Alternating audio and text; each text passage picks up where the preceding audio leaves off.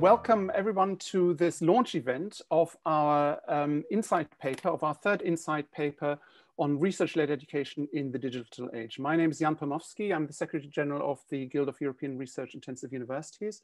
And I'm very pleased to be joined by a, a, a hugely distinguished panel to talk about uh, some key issues um, about how we imagine, how we can reimagine uh, education um, in really exciting ways um, uh, leading into the next uh, decade or so. Um, we, uh, we, when the Guild was created, um, we had at our General Assembly um, almost five years ago, um, our presidents who insisted that the Guild could never be just about research, but that education was as central to research uh, to, to, to uh, universities um, as the research that, uh, that informed this education. Uh, and so it was no surprise that when um, our presence reflected individually and together on where Europe, uh, Europe's universities should move over the next 10 years, um, what, uh, what vision we might articulate for European universities and for Europe's universities by 2030, they all had a sense that um, the most fund fundamental transformations in universities will happen in the sphere of education. Um, so, and this was um, we, we had these conversations before the pandemic even uh, started. So the question of how education will change, at what speed it will change, and at what cost? I mean, all these questions are of fundamental importance.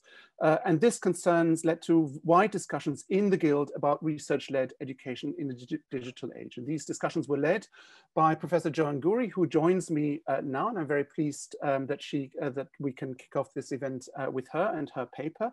But this paper was supported by a writing team um, consisting of uh, Aune Valk from the University of Tartu, Vice President there, uh, Vice President Berit Eika from, the, from Aarhus University, and Vice President Karin Amos from uh, the University of Tübingen. But there's also a, um, a very um, uh, um, large numbers of working groups and our General Assembly and our Vice Presidents who were involved in the conversation. Um, but because this paper is very much a reflection of our own thoughts and our own um, ideas, it was extremely important to us in this launch event um, uh, to, to extend the discussion beyond our network as far as possible. And this is why we really wanted to have uh, to invite a panel that was largely outside uh, our network. And we're delighted that we, we have been joined by such a fantastic um, and distinguished panel.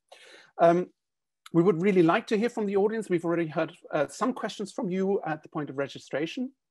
Um, and uh, I would uh, please, when you if you have questions, use the Q&A options um, and vote on the questions that you'd like to see answered.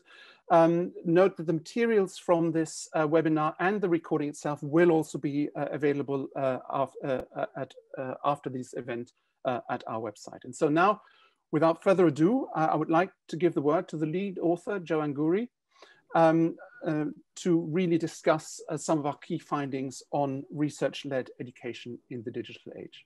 Joe, the floor is yours. Thank you, Jan. Um, and first, I would like to start by thanking the writing team from my end too. The paper is the product of um, good ongoing collaboration between us. Uh, and together we have produced what we hope is the start and an opportunity for, for dialogue and debate. So the paper responds to the current emphasis on education by international and national policymakers and the strong discourse of the need for change that is everywhere around us and problematizes what change could and should look like for higher education in the present moment. The paper's aim is to propose a framework and sustained intervention on research-led education in the digital age and lead a critical discussion uh, in the sector and within our institutions and offer some possible solutions in line with the current policy context and particularly the 2025 uh, European education area and the digital education action plan. It summarizes its key messages in six areas, uh, which uh, I will share uh, at the end of my short contribution. So what was our starting point? Uh, first, in order to move forward, we need the legacy of the past and an understanding of the current landscape.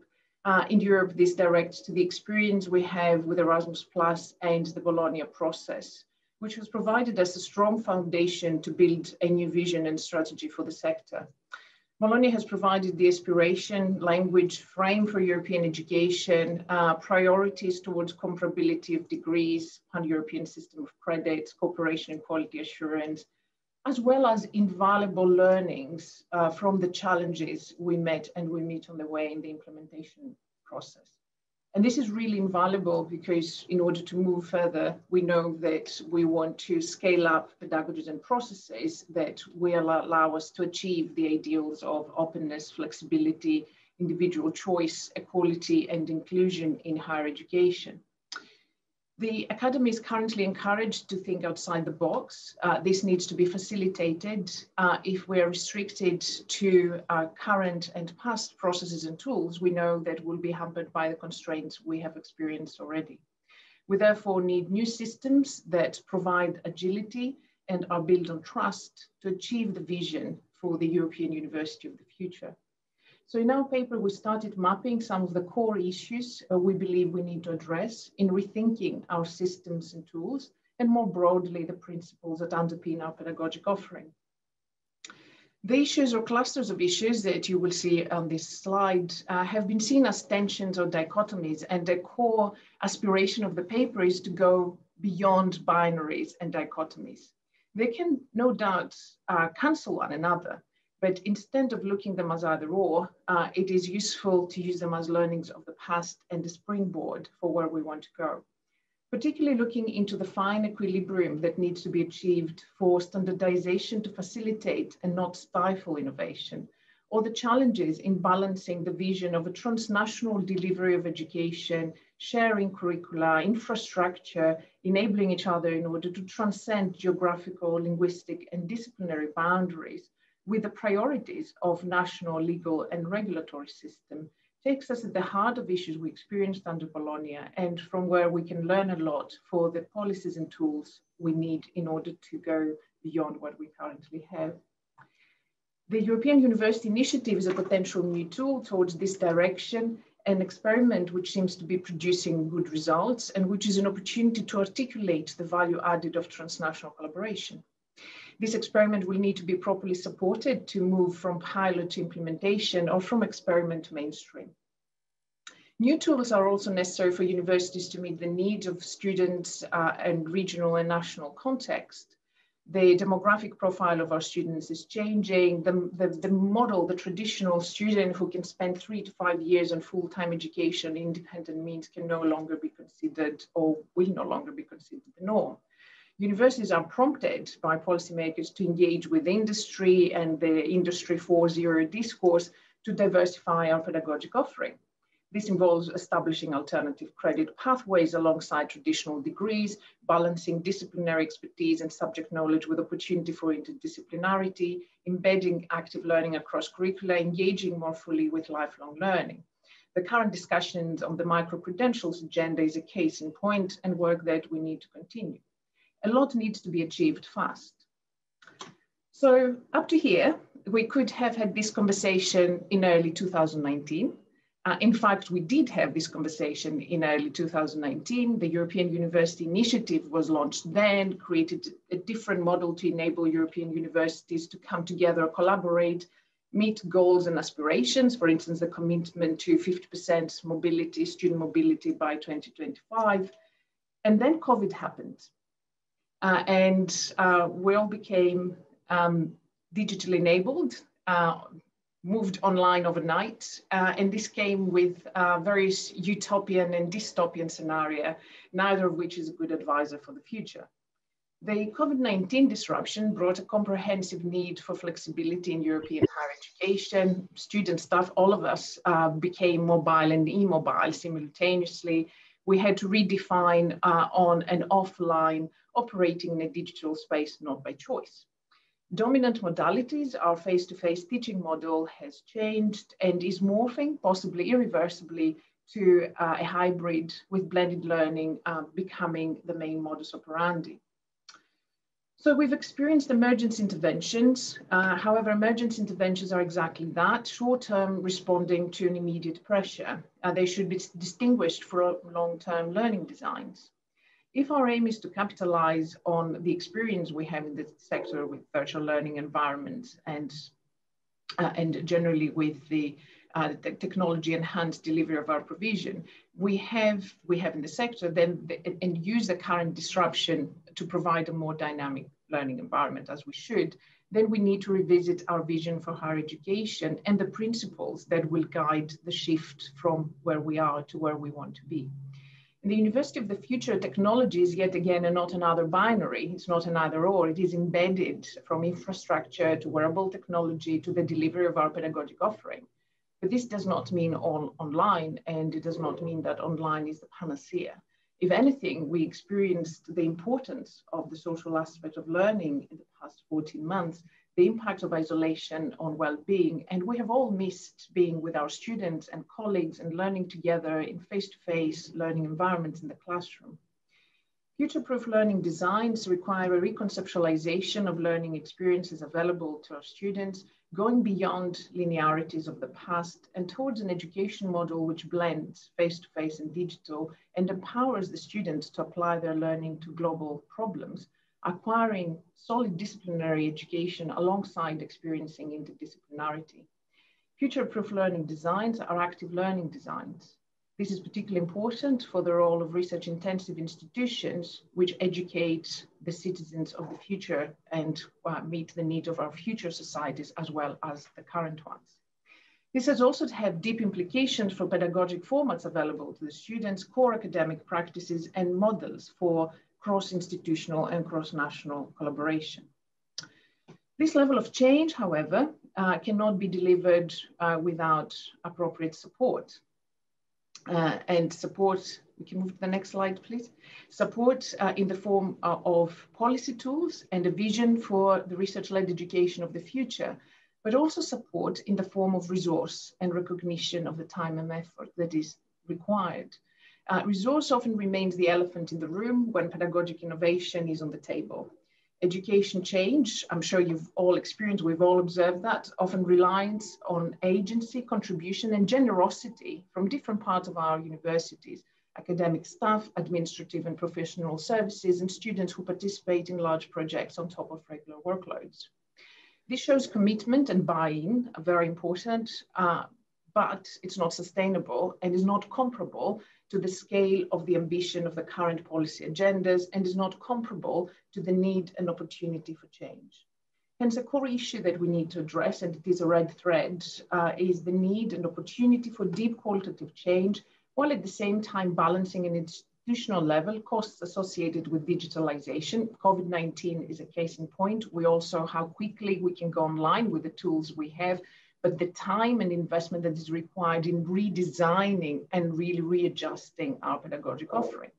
And at the same time, balancing decreasing budgets per student and staff under a lot of pressure to cover the daily needs uh, of the profession and hence with no capacity for extra work or for strategic redesign of our current offering.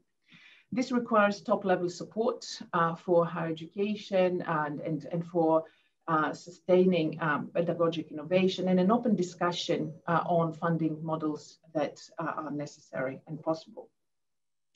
So our vision is for universities to capitalize on the current disruption, uh, to retain all the things we do well and change practices that we can do better or to not serve or will soon not serve the needs of our students and the dynamic societies uh, around us. Universities have solid expertise to build uh, on experience we have in the sector and lead the deep change that is required and possible.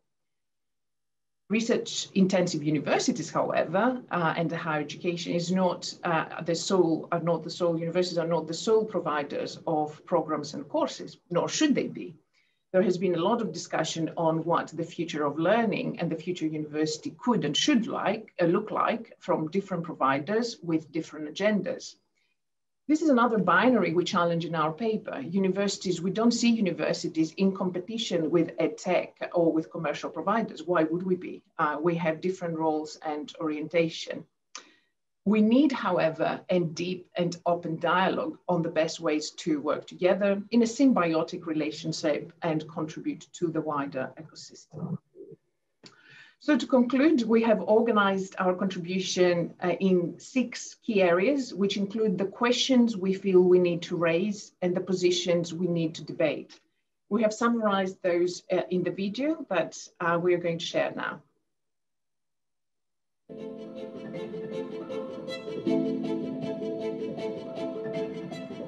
In March 2020, Europe's universities went 100% digital. Overnight, university education was fundamentally and irreversibly disrupted. So how do we reimagine higher education beyond the pandemic? How can we develop a vision for higher education that strengthens the connection between research and education, developing new and appropriate tools to expand the reach, formats, and impact of our research-led pedagogic offering? In the future, change will come in six areas. 1. The future is not and must not be all digital. The disruption has highlighted the social importance of learning, the impact of isolation on well-being, the depth of the digital divide, and the need for flexibility. We need to think creatively on the balance of blended models. Technology will be embedded in the university of the future, from infrastructure to digitally enhanced lecture theatres to wearable technology. We need to develop new ways, however, to enhance what remains the mainstay of most universities, the social learning experience. 2. Research-led universities should lend their distinctive strengths to lifelong learning. Digitalization is among the most powerful forces of societal and economic transformation, requiring more and more people to learn new skills throughout their adult lives. Universities need to strengthen their engagement with lifelong learning and the emphasis on flexible designs. Developing micro-credentials that are recognized across the center and beyond could be an important start. But universities must not compromise on their core mission of educating for active citizenship and long-term societal growth and well-being. Universities must be enabled to respond to this challenge according to their own strengths, notwithstanding the need for harmonization. 3. Pedagogic innovation must be accelerated to educate for continuous change and disruption. The sense of urgency to be able to cope with and lead a changing world demands education that encourages students to be curious, active learners. Students need to be open-minded, able to address complex problems. Digital tools, new and established pedagogies are all needed to enable students to explore and apply their learning. However, diversity of needs must be a core part of the learning designs of the future. Universities have the experience and expertise to pave the way if policy, funders and regulators enable them to do so. 4. We must move beyond red tape to develop enabling and flexible regulatory frameworks. Current quality assurance models cause barriers to international collaboration, despite the best intentions of the Bologna process.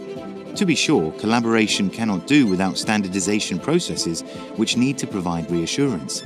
A key challenge for the future, however, lies in how this need for standardization can avoid bureaucratic procedures that are time-consuming and deeply risk-averse. We need quality assurance models that build on trust and enable. 5. We must articulate the added value of international collaboration. We're rediscovering the value of collaboration at the regional, national, European and global levels. Yet rarely is the value proposition explicitly articulated.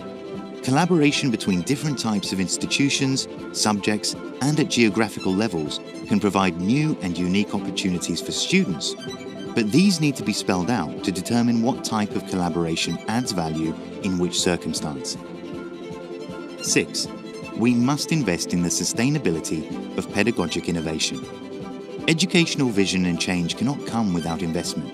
The pandemic put enormous pressure on staff and students and has shown that redesign is both possible and resource intensive.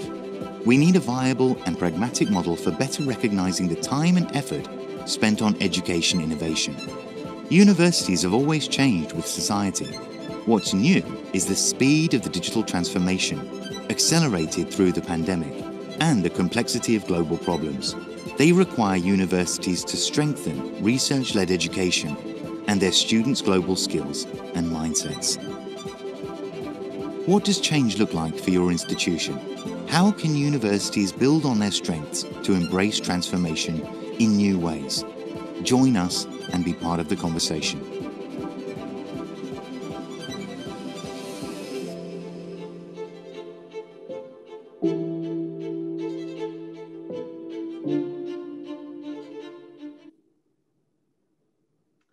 So join us to facilitate the conversation. Today is just the beginning of what we hope uh, is a journey. Uh, we have organized a seminar series um, which will enable us to zoom in on these core issues.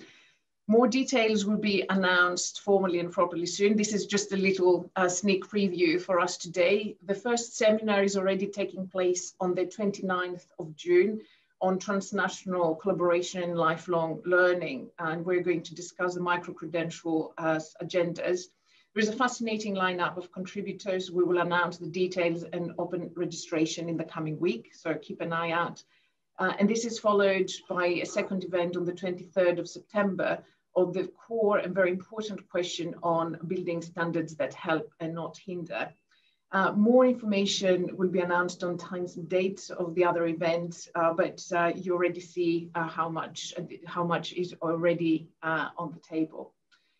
So join us to address change in those six areas, to identify a sustainable approach to resourcing pedagogic innovation and use our collective power to bring the change we want to see, our students deserve, and our future societies need.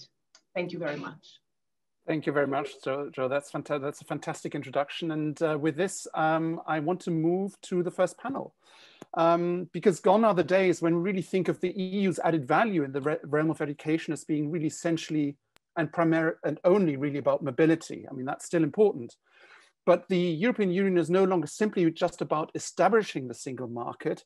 Um, it's very clear that with the European education area, the Commission has really signaled that how we prepare young citizens to benefit from the single market and how we enable um, individuals um, and students to engage in, Europeans, uh, uh in Europe's digital and green transformations. These are critical policy concerns at the highest level.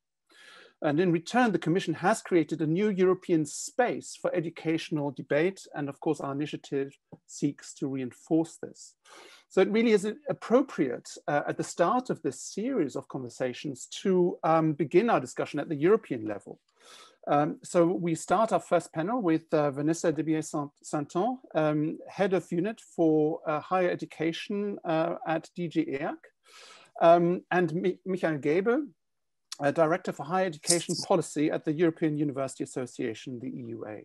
So I'd like, like each, each of you maybe to start with some opening reflections before we uh, get into a discussion, but I also want to encourage the audience as you hear the contributions uh, to uh, share your reflections with us and uh, uh, through the Q&A uh, session, which we'll do our best to answer then in the discussion.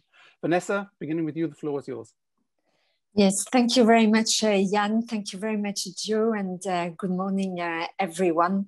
First, I would like to really congratulate you for this very rich, uh, but also very interesting, uh, excellent report that uh, can inspire a lot of rich discussions, I'm sure. And as you said, Jan, it comes at a very timely moment, as we are indeed as you said, in the co-creation process of uh, creating, co-developing a what we have called provisionally um, a European strategy for universities. So as, as, you said, we are looking at, at the next 10 years and um, we are in the middle of this European-wide consultation process. We are aiming at presenting such a strategy early uh, 2022.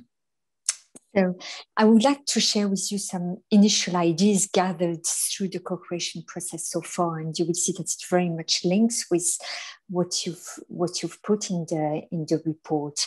The, there is first an over an overwhelming agreement on the value of such a, a European-wide strategy at this moment. This was confirmed by the ministers responsible for higher education uh, two weeks ago when they met when they met in the council and they had a, a rich debate around uh, such a transformation agenda, if you want and uh, and uh, it builds on many of the topics that you have uh, analyzed in this uh, in this report. The events of the past 15 months have shown us that we are at a transformative moment in higher education, as you have uh, rightly reported. And our objective with such a strategy and, and council conditions that will support this, this strategy is to really support and empower higher education institutions in this transformative moment. Now, of course, all the, the issue is what, what are the actions uh, that we can uh, uh, develop together, the right actions that will support you, all of you, in this uh, transformative uh, moment because higher education can and must play a leading role in this post-COVID recovery of Europe in making our society greener, fairer, and, and more digital. And in equipping people with the competencies that our fast changing society needs. And when I say people, it includes not only students, but also life-wide learners and the European workforce in increasing need to upskill and, and reskill with the support of education training institutions. And as you write in the, in the report, universities should, should lend, to, to, to, to take your own words, should lend their distinctive strengths to lifelong learning. And which we see that a lot of higher education institutions, but also private providers are developing short learning courses leading to micro-credentials with the objective to provide easier and complementary, that's very important, it's, it's a complement to what you said before is the core part and, and the core mission of your higher education institutions. But it can be a nice complement to make your institutions more accessible to a wider range of, uh, of learners. Um, but what we see at the moment is that there are some uncertainties around what kind of added value we can have these, these short learning courses leading to micro credentials, simply because there, there is currently a lack of European standards. And this is where we think maybe Europe can add value by defining such European standards to help with, uh, with, with the trust, their recognition, their validation, and, and their checkup. So there is an ongoing public consultations that is open to the to the 13th of July. So I would like to invite all of you to contribute to these uh, public consultations, which really which will really feed into the a proposal for a council recommendation that we aim at proposing by the end of this year. Now, a second very important topic that I would like to highlight, it's so rich that I will not be able to cover everything, but uh, I'll just try to, to point out to some of them. The other very important one is that we need higher education institutions to be actors of change at this turning point that we are facing today. We are entering a new digital decade. And we want as well universities to be part of the solution for the Green Deal and the new industrial strategy. But when it comes to the digital decade, you rightly point out, point out that there is still some way to go to reach the post-digital university. And my question to you today is what is the EU not doing that you think it could do or should do there is much potential in hybrid models of teaching and learning, in finding the right balance between physical and distance uh, models. And as you say, the future must not be all digital, but how can we find that, that right balance? And what would be useful at European level for you to, to support you and, and to to have higher education institutions have the support, the knowledge, the capacity um, to, to harness it. So the Council of Ministers called for higher education transformation with a focus on inclusion, innovation, connectivity. I'm sure we'll speak about it, the importance of deeper cooperation, digital and green readiness, having in mind international competitiveness as well, as well as the fundamental academic values and, highly ethical principles and employment and employability. So you see that the agenda that they have given us is, is quite broad. And there is a strong conviction that the strategy should speak to the 5,000 or more higher education institutions across Europe. And, and related to this point, I would be very interested to hear your views on how we can use this diversity in our higher education sector for all benefit and, and, strength. What considerations are necessary for the strategy to be beneficial for all types of higher education institutions from east to west, from north to south, to educate, conduct research, innovate, and serve our society across borders, disciplines, languages, and cultures. I will stop here, but as you can see, it's a, it's a very rich uh, discussions that we're going to have. Thanks a lot, uh, Jan and Jo and, and all the others. So it's a really important discussion that doesn't lack ambition, yes. which is appropriate to, to the task at hand. Uh, yes. Thank you, Vanessa. Um, Michael. Yes, thank you. And also from my side, thanks for this paper. It's uh, really inspiring and thought provoking. And I agree with Vanessa, it comes at a really good moment. You may have seen the Universities Without Walls uh, Vision 2030 that EUA puts uh, out, and you will see um, many things there um, uh, are, are, quite similar. This is not that I accuse you of plagiarism, but just to say that it's it's somehow happening everywhere, and uh, we're probably like the uh, five blind men and the elephant, you know, where we approach it from different uh, perspectives and see different things there. So it's really important to talk about this and get our thoughts together. The point that you make here, and uh, that Jo uh, illustrated so well in her presentation, is why why don't we change? You know, we seem to know some of the goals, what we want to be actually, you know, the open international university, but we are not getting there or not as quickly as we want to. And uh, in the paper, you point out three points. One is the institutional conservatism and red tape. The second one is national level. And the third one is um, is probably also Bologna, which uh, is, uh, yeah. And I, I, think I just take it up there. If I look at the institutional level and just pick out this one point that you made about research-based led uh, education, I don't have to uh, say here that I agree with you, yeah, fully. And EUA has made that very clearly on several occasions that we really think it's important that already undergraduate uh, students are exposed to well, if not research, but curiosity-based learning and interdisciplinarity. And uh, you also make the point there's, there's a bit of uh, diversity, lack of definition of what that actually means in the sector. And I would encourage you to explore that further. I think that could be very, really helpful.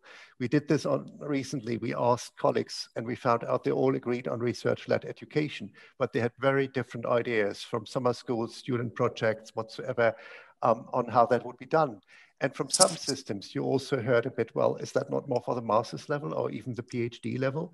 So I think that's probably a first point here that we get uh, things that have been very intrinsic to the institutions, to disciplines or to individual teachers, that we expolite them more, that we make them more visible and get not an agreement, but make the diversity and the different ways of understanding them more visible.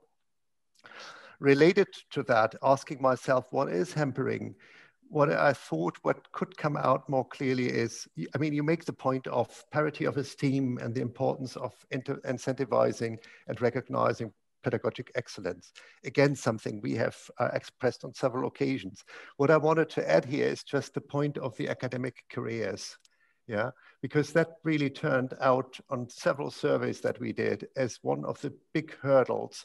You do not get recognized, you do not get acknowledged for what you do in education.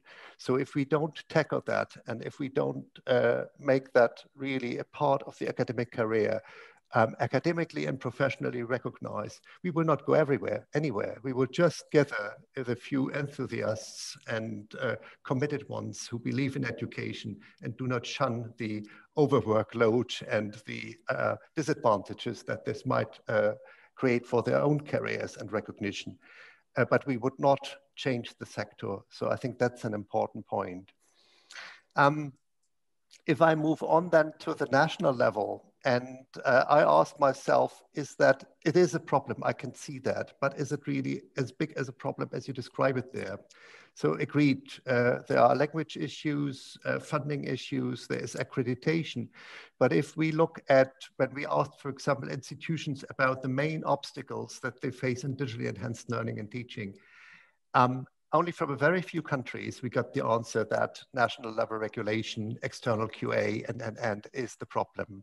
So, um, and uh, that's basically also confirmed uh, from the autonomy scorecard, where we can see that, for example, curriculum development is in most countries, you can do that uh, as an institution, you have quite a bit of autonomy to define that. But I think you have a point there, and uh, that institutional and national systems are not necessarily conducive to uh, what universities want to do and should do. And I really want to highlight here the case study of the Jagiellonian University, because that's not um, just uh, highlighting how, how uh, the many good things that the Jagiellonian and the other universities do, but it really makes the concrete point of the problems. And I think we need more of this and across Europe. And we have to look at the concrete problems that are there and then think about ways on how to tackle them. And I think the European Universities initiatives, generally inter-university uh, collaboration is a good way, of course, to uh, identifying them, highlighting them. My hunch would be that many of this, what we thought is implemented across Europe, like ECTS and NN, is, has probably been done on a subcotin uh, level under the radar of uh, some of the national and also institutional regulation. And now when you try to upscale it and uh, implement it more radically, suddenly you have to explain that to your rector and to your senate. And then the question come and uh, the obstacles. Point about Bologna, and uh, I think it's it would be misunderstanding to say Bologna is about an average strategy. At least for us, and I think also from the colleagues from ministries who have been in the Bologna process, it's really seen about creating a framework that is sufficiently flexible for higher education institutions and their members to act and make sure that education flourishes. So you have the bachelor and masters, the QA, the QF, and, and, and but it's more like a, like a broad road and infrastructure to do that than rather than prescribing what, what you should do there. On the concrete issue of learning and teaching, Bologna has be, actually been rather agnostic. If you look what Bologna said about learning and teaching, it hailed learning outcomes, it hailed student-centered learning, um, and promoted them, but it has not really defined them. So it really left that for the sector. The question that I take from your paper is, should that change? Should Bologna try to be more supportive and enhance the um, opportunities for universities there? And I think that's probably something that we should discuss because since uh, the last uh, circle of Bologna, we have a working group on that. And being in this working group, we found it actually very difficult to tell governments what they should do, other than that they should support, encourage, inspire, and fund higher education. So as the new Bologna cycle is just starting now, maybe this is something that we should take up and discuss with you and other organizations more closely. What should Bologna do in the next round to improve the situation of institutions? Um, I just can support what Vanessa said about, and what you said in your paper about uh, lifelong learning. I think that's a really important point. And I also think that it, it goes beyond uh, micro-credentials, of course. What we think is that the mission, the mission of higher education institutions and lifelong learning is not fully recognized. That's a very superficial thing now, and we would have to go down also in the different uh, national uh, systems, why that is actually so and how that could be uh, improved. Last point that I want to make here is about university networks and associations that you make in that paper. And of course, this is also something that we would support and just making the points that this is of course a much broader landscape than just the um, European University Initiatives and the guilds and uh, alike uh, organizations. And in this regards, I'm really grateful that you invited me here today. Um, EUA is ready to collaborate with you on these issues and uh, use our muscle basically and our position to bring them also up to European level in the European education area and of course in the European higher education area. So that's from my side for the moment. Thank you, Michael. Um, can, so, so there are a whole range of issues that uh, that you you have both raised. Can I maybe start with the first, which is, I guess, a little bit of the element in, in the elephant in the room. As soon as you start talking about um, the sort of technological transformation that we've also just experienced. So, um, and and Vanessa, maybe starting uh, with you. Um, so, I mean, we're talking at a time when we're at the back end of an academic year, which has been just incredibly tough for for students and for tutors, um, and uh, and administrators all along. I mean, we've all been in this together, uh, the Commission indeed, and and you know, where people have had to do so much without any extra resource, sometimes less. Um, when we think about the esteem of teaching, there's a real question about how institutions then juggle this. Um, and so, so the question to you, I guess, is so first of all, there's of course something going on at European level now as we think about how we re-evaluate careers and, and, and, and I think there is also a discussion about academic careers, which allows, I think, some of the things that Michael said maybe to, to, to be brought up uh, a bit more. But, but there's also, uh, in more concrete terms, Vanessa, a, question really about the funding. So do you detect at your level where you sit a greater willingness of of education ministers to, to and of science ministers to give greater weight to, to uh, funding students and to, and to provide the resource that it actually takes to do um, digital learning properly, given that we are at a time also of, of uh, very difficult public finance.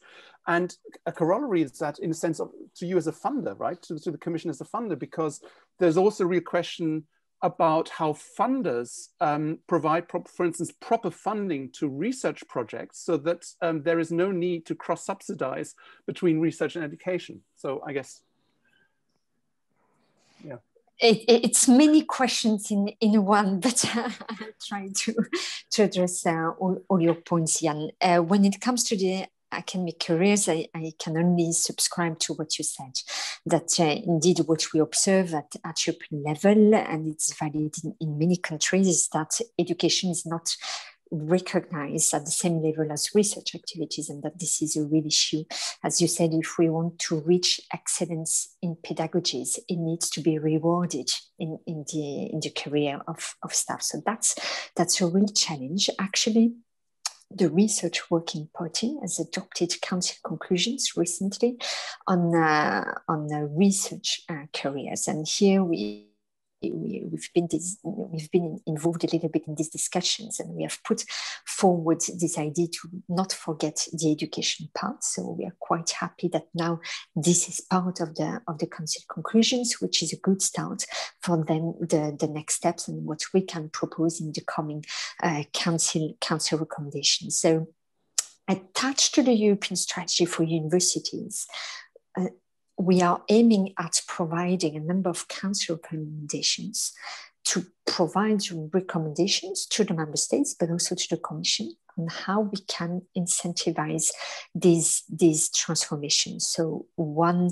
will be on, on lifelong learning and micro-credentials, one will be on education for environmental sustainability, another one may be on how we can support deeper transnational cooperation. As you said, as you said before, European universities are a bit the, the front runners and, and the pioneers in, in, that front and what we are learning with them and, and many of you today um, it is really the, the limit of how the Bologna instruments have been implemented so far by the member states and how we can make it more flexible in the way it is implemented um, so far. And as, as Michael said, there is, there, there is a need for, uh, for deep reflection there because, because we see when it comes to accreditation, to quality assurance, there, there are a lot of uh, limitations there. So when it comes to funding, it also triggers many questions, not only in terms of level of funding, but also the criteria uh, for providing that funding. You know that it's very there is such a huge diversity between all the member states in, in how higher education institutions are funded. And, and actually, there is a, an ongoing study uh, at our level to map a little bit these different funding models and, and to get some recommendations uh, for, for the future. Because if and, and this is why it is so important to have this collective strategy because I think funding models we need to be reviewed in the context of such a European strategy. If we want to have better recognition of education, if we want to have more transdisciplinary approaches, more transnational approaches, finding the right balance between between um, and digital and, and uh, physical education learning. All this needs to be reflected in these funding models. So what is good, and, and you said whether we see the ministers being willing to get these discussions, my answer is yes. Uh, actually, they have been asking for uh, putting these discussions and investments as part of the priorities to be discussed in the context of the European education area there is a new, uh, if you want, a working group that has been set up with members from the member states to have a huge reflection, not only when it comes to higher education research, but also covering all the different sectors, including school education. And the reflection that we're having with this group is really, it's not only about level of funding, but again, level of funding with which impact and how can we monitor the impact of such level of, of, uh, of funding. So you see that it's a wide discussion. It's level of funding, it's, it's how, based on which criteria we provide funding, and then it's about monitoring the impact of such, uh, of such funding. Um, there, there is, you know, uh, um, a lot of uh, different European instruments to fund universities. There is, of course, Erasmus Plus, there is Horizon Europe, but there is also the, the next generation EU, the recovery funds. So now the, the, the countries are, are, presenting their strategy on how they can use the, the recovery funds. Here, we're quite happy that a number of countries are using them to bring to invest in higher education to make it in some countries they are focusing on inclusion some others on digitalization for example these digital uh, issues. Um, so that's very good. That's very good. I think it's a, it's a very good move. Uh, we, we may may hope in some countries to see more of that. Uh, let's be, let's be transparent. Uh, but it's it's a very positive move. Now what what we hear is that sometimes universities are a bit lost, you know, with all these different instruments and all these different criteria.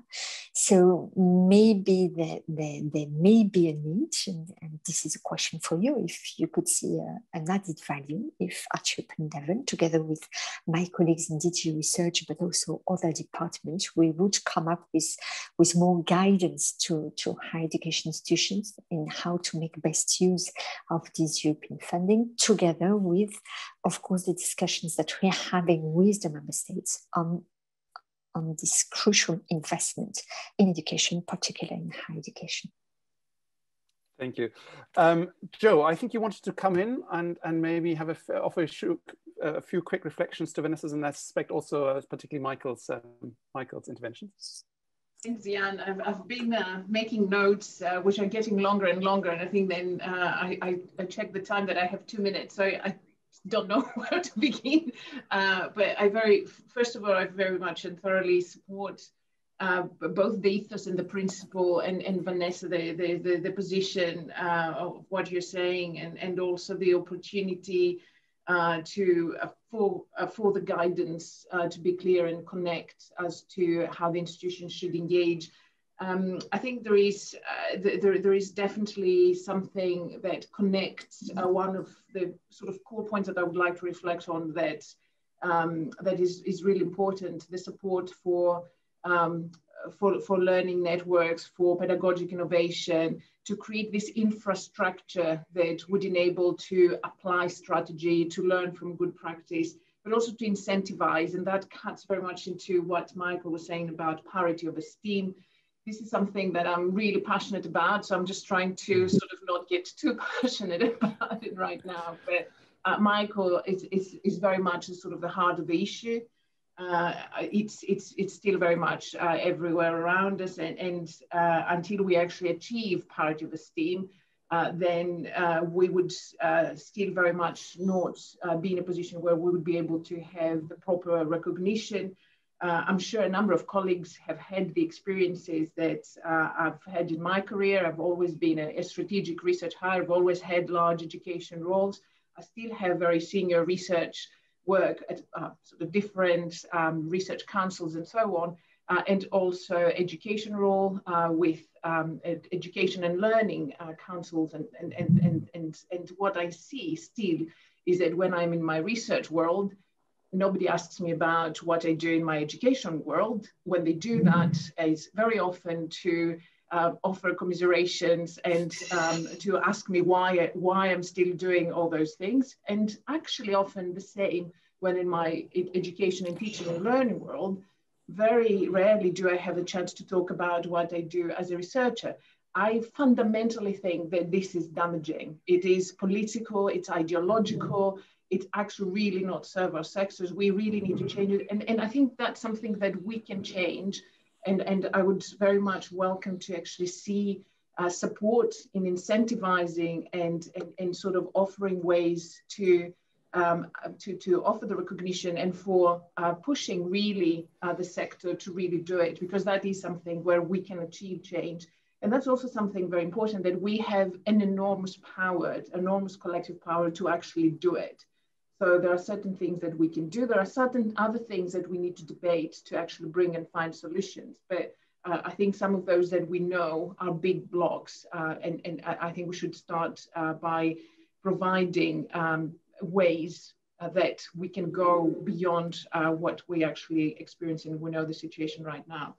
Um, so um, I think that's probably more or less my time, but I think also having the uh, opportunity to uh, to identify this very fine equilibrium we need uh, between our approaches to and our understanding of autonomy and what autonomy can and should do, both from individual academic level to institutional to regional to national to international, and how actually this needs to work with flexible systems uh, that enable, uh, in, in, in, enable creativity and enable pedagogic innovation to actually grow.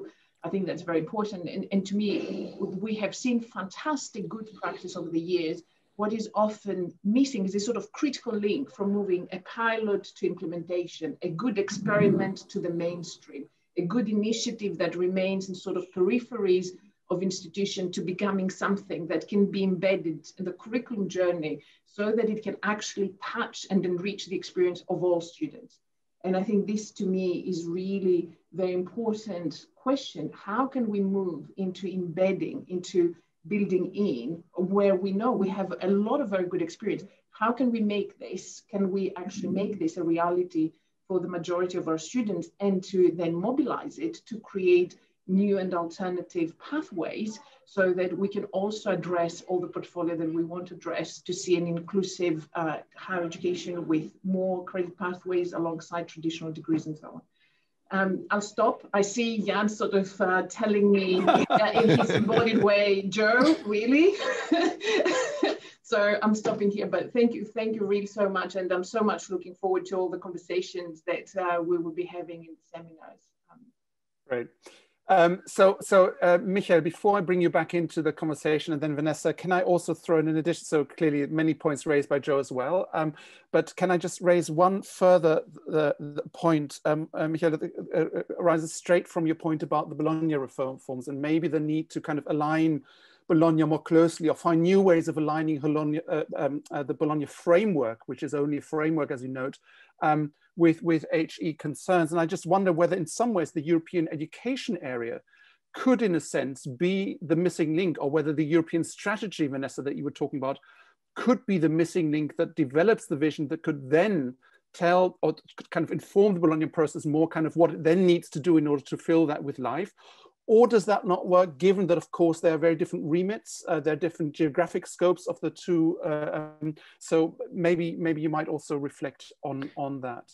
Yeah. yeah, no, happy to do that. Just two very short comments. One on the funding side, because um, that's that's of course an important issue. And just to remind that this is not all about European funding, but it's also about the funding that the institutions get at national level. And what we see really as a as a kind of um, yeah, problem is if there is a growing em emphasis on performance-based funding. You know, if you have certain purposes behind it, and on the other hand, you find that institutions are actually chronically underfinanced. Yeah, and uh, you you know our publication on that. Uh, this is really not helping the sector in the end. You know, but just that's that's the point that so uh, institutions have to be properly funded, and then everything else can come on top, of course. And we see that also in well, in the view of what's uh, the, the, the months and years to, to come after the crisis, I mean, it's not, not very likely that everywhere will be more funding around for higher education. So we have to be very smart about this. The second point was about what Jo just said and Vanessa about careers. And just to say also, it's not just about um, the research and education, but it's also about all the other things that are so important. The whole third mission, internationalization, comes out strongly in you. So there are diverse careers in universities, and we have to make sure that all this diversity is somehow these diverse approaches are recognized in career development and and and and just to say it's not just between research or and other careers in, in the institution um, the problem is also on the research side, you know, the way how you assess and value research. And this is something that EUA is, has been taking up about a year or two years ago, and which we are discussing with uh, members and partners.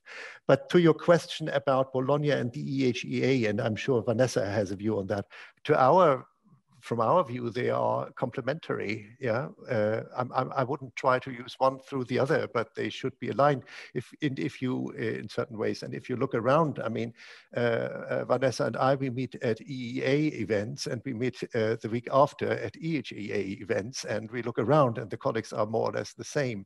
So I think that's a good opportunity to do our complementary and different things in different frameworks without ignoring what is done in the other one. Yeah, we will have to avoid to duplicate and to contradict, you know, but have a high level of alignment there. And I'm not really worried about that.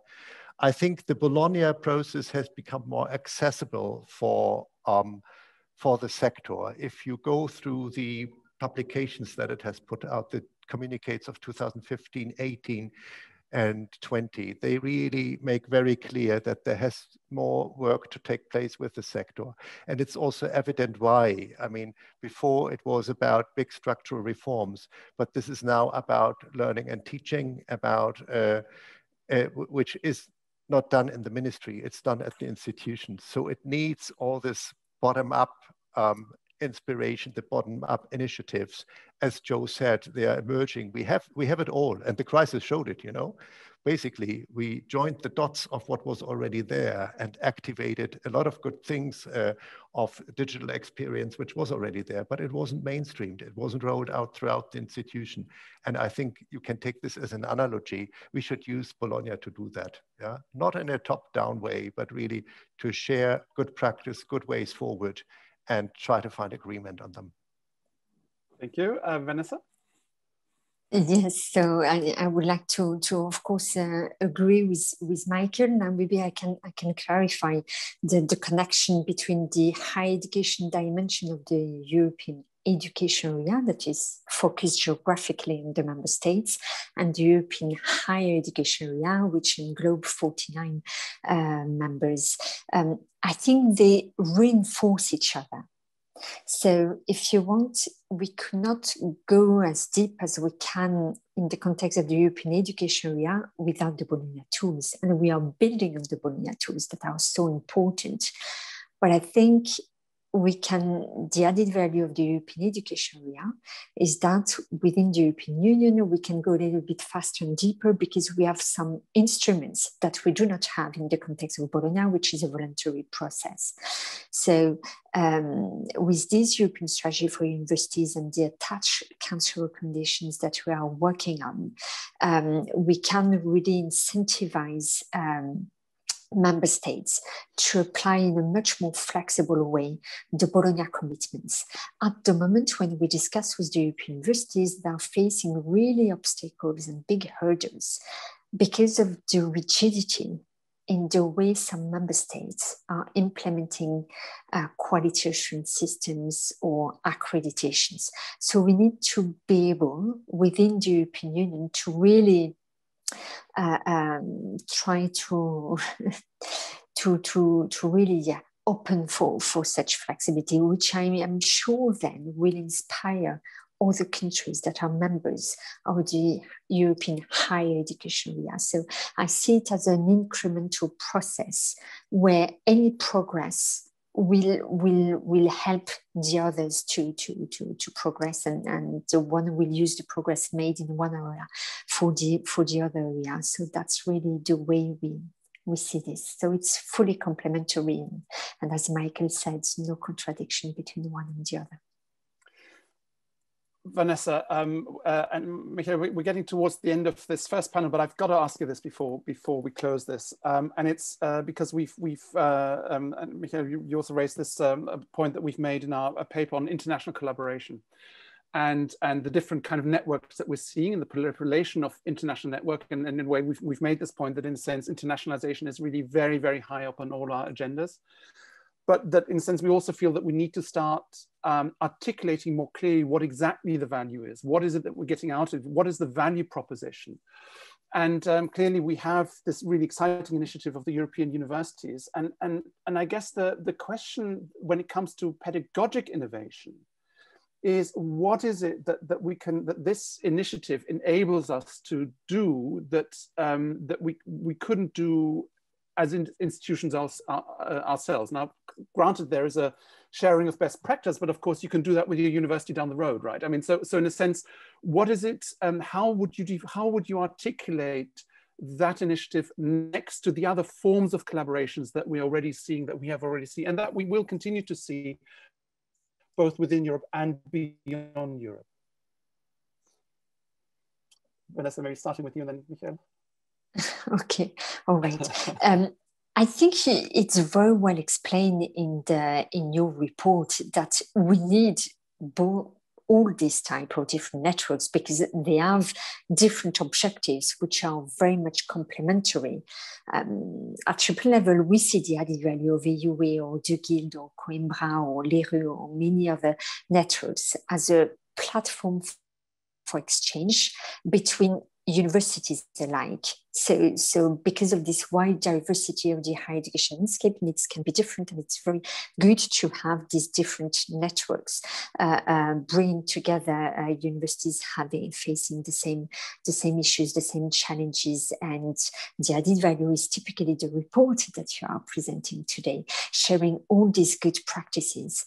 The way we see the European universities is more in implementing together all these good practices that you have been exchanging in the other forum network. So I think that's why the, the we, we have changed a little bit the, the, terminology around European universities that we do not consider them an, as networks, but as, as really alliances, alliances showing uh, a long-term vision that they are implementing uh, together. So it's really this implementation mm. uh, uh, that, that makes the huge difference between the two.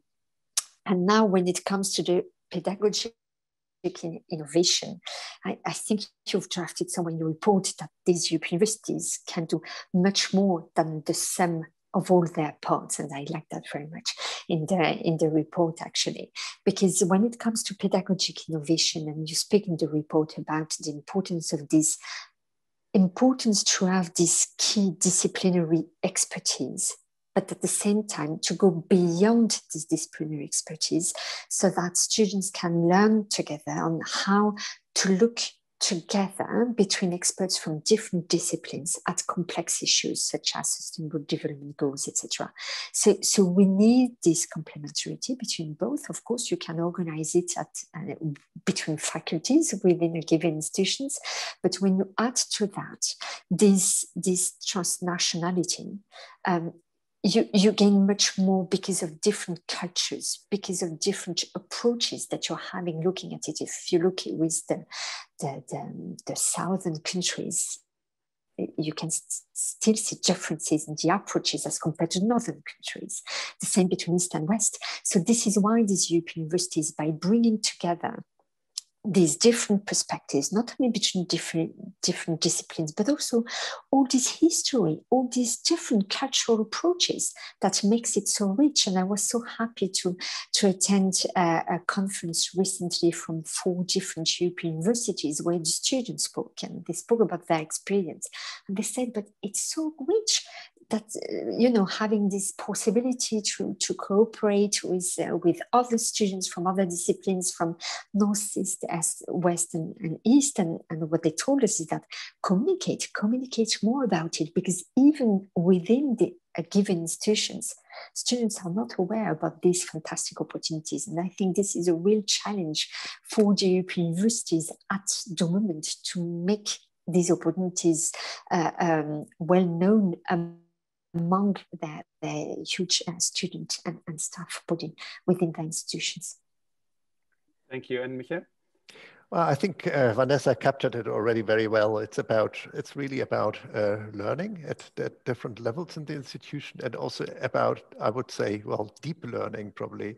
There's a different thing on whether you look at each other and listen to each other or whether you actually start to do things together. And we have seen that in many different ways. I mean, uh, the joint degrees were a good example, which I think, which have brought in a major uh, movement into learning it, it's a staff learning approach uh, that's what joint degrees actually became isn't it? it i mean international experience for students but and learning of course but also staff learn through it how curricula are developed elsewhere and uh, uh, the whole academic and teaching culture that you have at other institutions. We do, we do that also uh, regularly through our thematic uh, peer groups where we bring vice rectors together and they exchange among each other. And there's a lot of evidence that they go back and uh, I mean, it gives them the inspiration of doing things, but it also, when you, when they start then collaborating as you do in joint degrees or also in collaboration, you also become much more aware of the different issues that you have in different systems. And I think that makes for the deeper learning. By contrast, you can have exchanges for years uh, without understanding anything about the systems in which people work. Look at all the exchanges that, that we have with the US, but who really knows how a, U, how a US university functions? Yeah, very few probably do. So I think that would be my point here. And it's moving, it's about the program, but also the whole institution. So it's really adds to what we want to be, the learning institutions. Um, Jo, any final reflections on, on what you've heard in this panel? I'll just say three words. Um, I think it's actually they sort of moving from uh, having sort of this linear connection and seeing them as something that sort of connects uh, one to one or mm. one area of activity or another to creating really a, a matrix. Uh, and, and if we achieve that, this is really how we can articulate uh, the uh, value added proposition and also uh, make it relevant to the whole experience in our universities instead of uh, limit, limiting to those who immediately participate. So it's basically translating the opportunity and, and move from the singular to the plural, from, from mobility to mobilities, and look into sort of a portfolio of opportunity and also a portfolio of opportunity to capitalize on the work we do so that this experience is invested uh, in creating this transformational potential. And I, I, think to me, this is really the deep opportunity that we have right now uh, and, and connect um, collaboration, which, as, as Jan said, they sort of there's a lot of value in collaboration in sort of the regional, national, and international. And by opening those channels where we can bring the value of regional net, networks to the cross European, there, there is a fantastic opportunity for this placemaking uh, orientation that so many institutions want to have. There's this very good work that is happening to benefit others and, and benefit other regions and then connect with other parts of uh, strategies that we want to achieve. Um, but it's also how to unblock the barriers that on, on, on that we have on the way to achieve this uh, matrix uh, of connections. So I want to end this first panel with a thank you, of course, to our uh, first uh, set of speakers. Um, and I would like, maybe just by way of summary, I would, um, you know, like to thank the Commission, but also urge us all to, to kind of really participate in this dialogue about the European strategy for, for universities, because that can only really be fruitful and, and, and have legs if we all really engage with it and if it really genuinely expresses what we feel to be um, true about our journey uh, ourselves. Um, and there are many opportunities. Vanessa pointed to one, but but there, there will be others. So so um, I would urge us all to take part.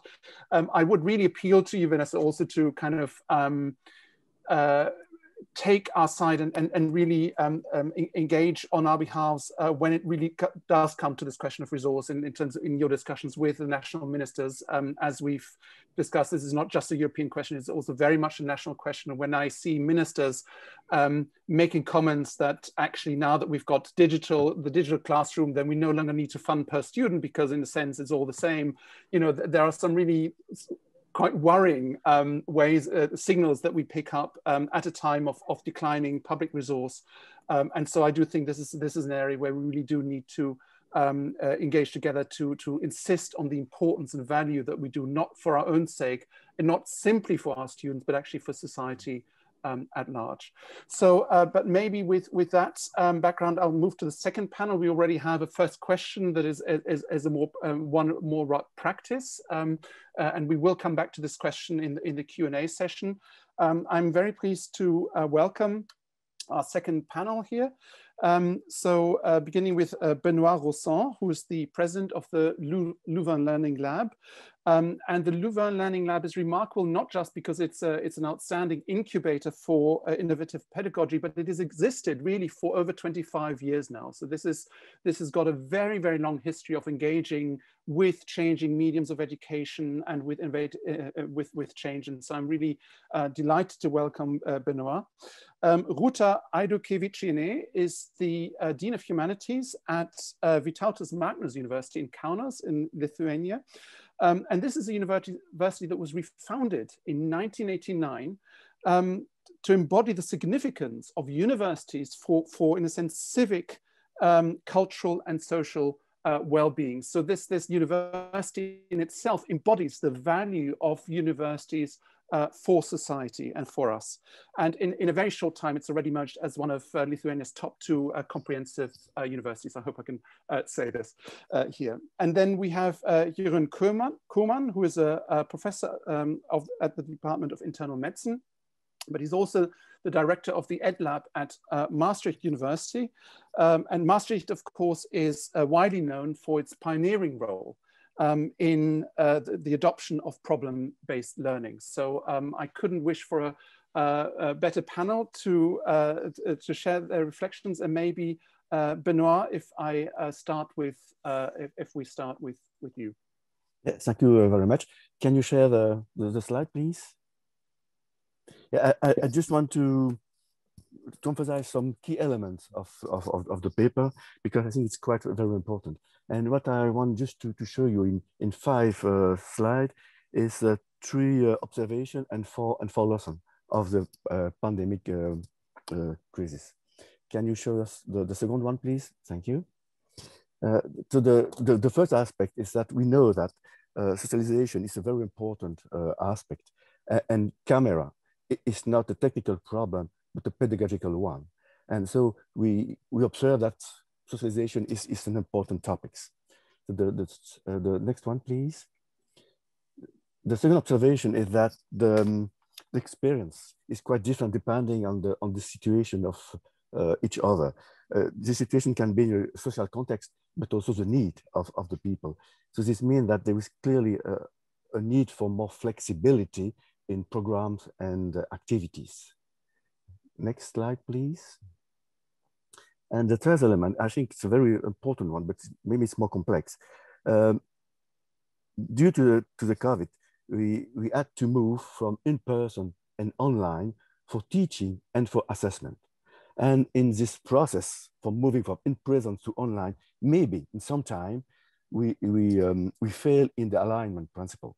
This means that we had on presence, maybe a alignment between the teaching activities and the assessment, but on the moving um, process, sometimes we, we, we, lose this uh, alignment. And so alignment is becoming a very key element in the reflection.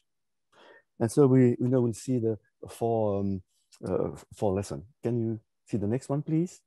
So the first of all, as I said, uh, there is a very large variety of needs and we have to think about lifelong learning.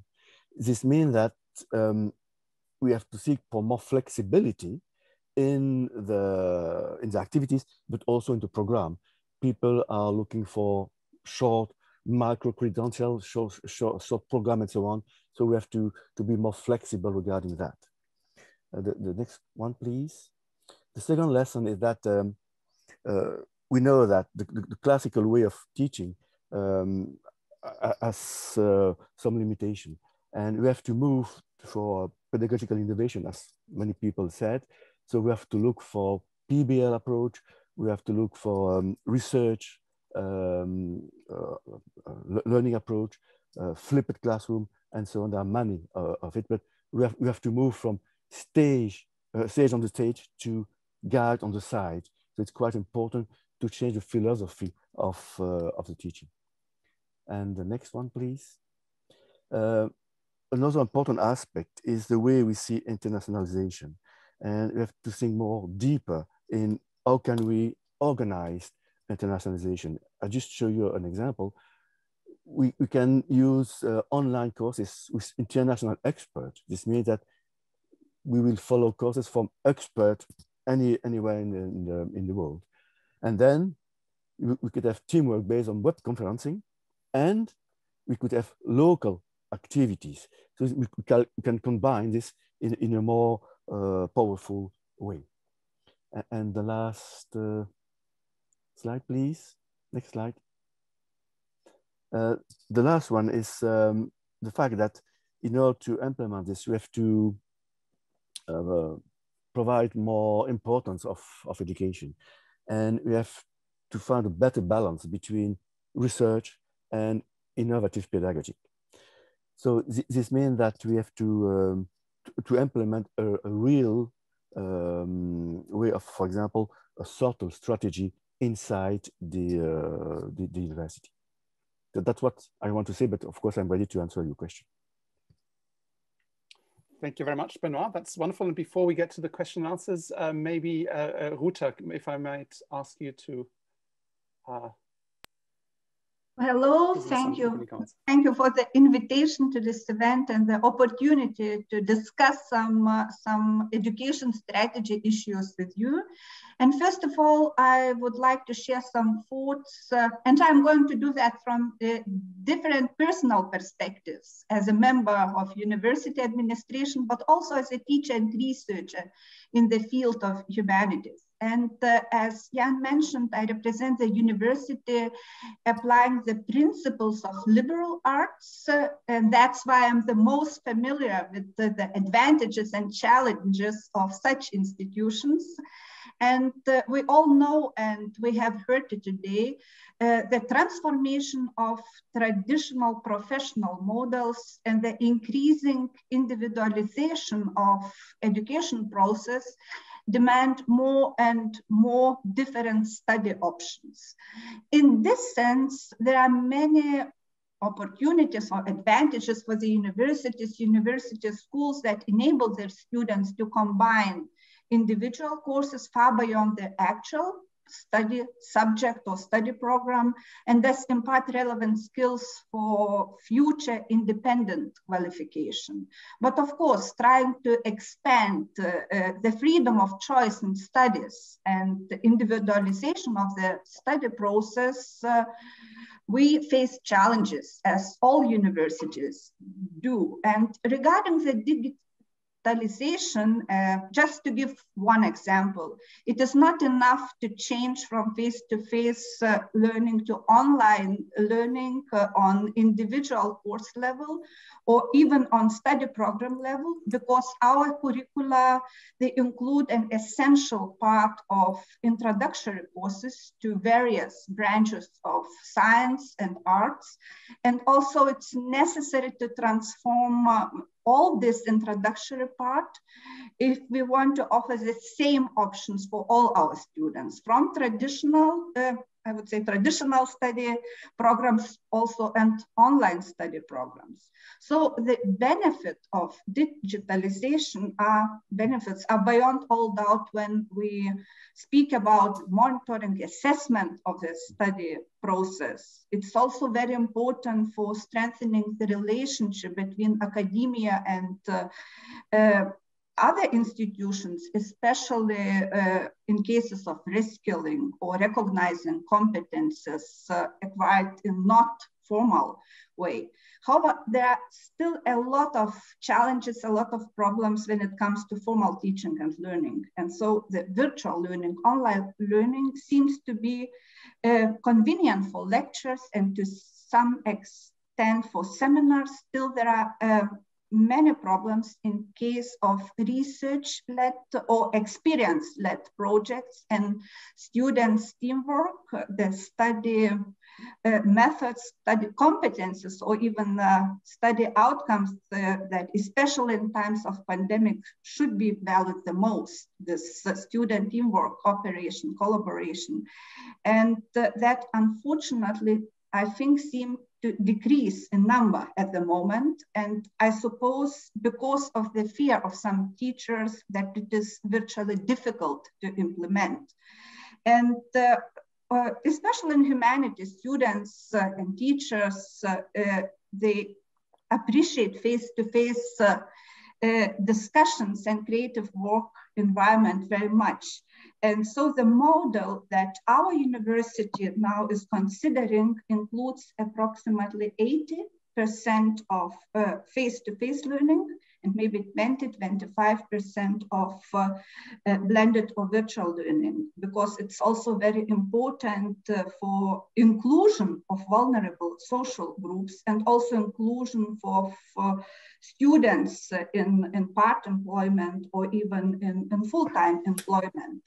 And uh, as a teacher, I am really very convinced and I have experience uh, with and I am convinced that studies in humanities, studies in philology, and other uh, subject fields, they should respond to, to the demands of students, not only to handle professionally the specific contents acquired in their studies, but also uh, provide them with key skills uh, such as self-confidence, creativity, flexibility, and uh, to facilitate their participation in future professional life. And I think nobody doubts the question that and why the experience and action oriented uh, learning should have its fixed place in university teaching. Uh, however, there are still many problems uh, integrating such research-based study projects into existing curricula. And the questions always are, and uh, we have discussions at our university, should they be integrated in bigger course units? Should be, they be carried out parallel to some courses or should it be offered as individual course units? And maybe the last and one more I think, in my opinion, one of the biggest challenges and the, that needs support also on the university level is building well-functioning networks uh, of motivated stakeholders, actually that sees the benefits and the, also there's a kind of strategic decisions to be involved in such students' uh, activities. And so when someone outside the academia uh, shows interest in the project results uh, and wants it implemented. So this leads to a significant increase of, of student uh, motivation and also higher learning effect. Uh, of course, it is important for the visibility of the university, also for the stakeholders involved. And, but of course, it's a challenge for teachers uh, to ensure that valuable result is created for the customer so that she or he uh, is potentially available for future projects. So I, think also this cooperation with stakeholders is also very important and should be supported on the university level as well. So maybe kind of some uh, remarks and thoughts. Thank you very much, uh, Ruta. And uh, last but certainly not least, Johan. Thank you very much, uh, Jan, also for the invitation. Um, uh, good morning to all. Yeah, I think it was a very uh, good and stimulated document which I read with a lot of new insights and I think really kind of a first roadmap for our future. And first, what I would like to comment on is actually the, the, the possible chances which we have of the lessons of the COVID pandemic for international collaboration. That is actually also stimulated by our large experience which we had to achieve in very uh, short periods of time with the introduction of, of online environments. And, and, and also actually we, and, and you know, Maastricht, we do problem-based learning um, based on small group learning. And we had to adjust actually uh, over a single day nearly to, uh, to do this all online. And actually it's, let's say it, it went well from from uh, let's say a learning perspective uh, students were able to to to to learn what they um, uh, uh, uh wanted to learn were supposed to learn. But what you also saw is that um, the societal the let's say the, the the impact of the of meeting each other the societal impact of of, of learning and uh, the collaborative impact of learning actually decreased by these purely online environments. And if you want to look into the future actually i think and i, I think that the international mobility either um, whether it is virtual or really visiting each other should be um, should be fostered. And, and you could very well think of hybrid approaches because I think young people um, uh, uh, like to travel, like to meet other people. You cannot do this properly purely online and I, I, think a combination of international mobility uh, uh, with if people uh, if the students come back in their their home universities um, uh, uh, stimulated by interdisciplinary projects with people from different universities which you got to meet that would really be I think uh, a, a, a, let's say good asset for the for the for the future in a way. And in, in Maastricht actually there's also we're part of an initiative. It's called Young Universities for the Future of Europe the YUFE and actually it's also they, they built a virtual campus on on that. And yeah, it was trying to make a beginning with this type of um, uh, initiatives in a way. And I, I, hope this will also be set, yeah, let's say the stage for the for the for the future. But importantly, it's and that's more for the first panel. Also, you need a harmonization in quality assurance systems and recognition of um, uh, uh, of study activities which were done at other universities. And in the end, probably a European kind of diploma would be, um, I think, the ultimate uh, ultimate goal. But it will be um, long before this has been um, been achieved. Uh, also would like to react on research-based education and I come from the medical field and we have a lot of papers on COVID and what it would mean and we learned a lot from this. And I, uh, I think it would also uh, be very good for the educational community and I know there are quite some efforts on that actually to also to share what we all learned from the COVID uh, experience because um, uh, in the, and in the end come and actually expand the whole spectrum of research-led education also by uh, going to a, a, more evidence way of, of, of education learning what worked and what did not work. And at that lab, that's also initiative, what we did, at least did in our own university, to look what we should keep, what we should uh, uh, certainly not keep, and also try to learn from uh, from um, from educational um, uh, yeah experiences in other in other universities. And I think as a as, as a European network, we could really learn from each other and and build yeah, let's say an, an even better education for them for the for the, for the future. Uh, so I, I, think actually it's also called to include this on, on, on, on research-led education. I strongly value the, the role of research in, in education it's, it's surely at an undergraduate level also to stimulate critical thinking, collaboration together. So it could also does not necessarily have to be, I think, in the start of the the the the, the, the undergraduate career to be purely research, but it could also be project or challenge based. It's it's about I think firstly about stimulating critical thinking, working together, collaboration, and uh, uh, in interdisciplinary projects that's actually what I, and there's a lot more to learn from, from, from this wonderful paper, but these were actually the first thoughts which, which came to my mind when, when reading it. Thank you. Thank you. Um, can I just, uh, before I go back to the panelists, can I just bring in uh, Jo uh, Angouri again, because there's a, there's a question um, that was submitted by um, a member of the audience uh, by uh, Johanna uh, Anala. And uh, Jo, do you want to just um, um, reflect on the, uh, read and reflect on the question? Thank you. Yes, thank you very much. And, and thanks very much to the colleague for the question, a very important one.